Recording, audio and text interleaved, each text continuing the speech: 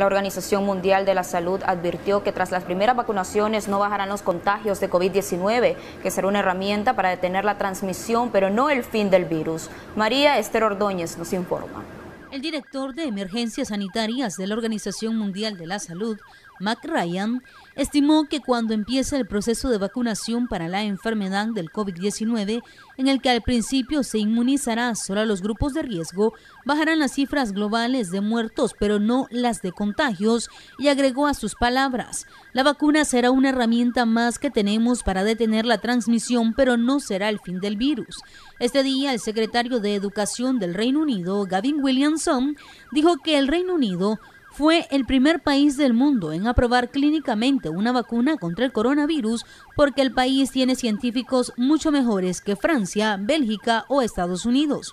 Mientras Jonathan Van Tam, director médico adjunto del Reino Unido, aseguró que no hay garantías de que la vacuna COVID-19 de Pfizer con BioNTech se distribuya en los hogares de ancianos ingleses, pero el Servicio de Salud y el regulador de medicamentos están trabajando para hacerlo posible. Estados Unidos, por su parte, ha registrado en las últimas 24 horas más de 200.000 casos nuevos de coronavirus y 3.157 muertos, lo que supone un nuevo récord diario de decesos y la segunda cifra más alta de contagios en un solo día, según el balance de la Universidad John Hopkins. Mientras tanto, el presidente de Brasil, Jair Bolsonaro, ha avisado de que él se exime de cualquier efecto secundario que pudiera provocar cualquiera de las vacunas contra el coronavirus que se utilizarán en el país y ha afirmado que ofrecerá el contrato completo de cada una de ellas para que quien lo tome sepa las consecuencias. Él mismo ha manifestado que no se aplicará ninguna vacuna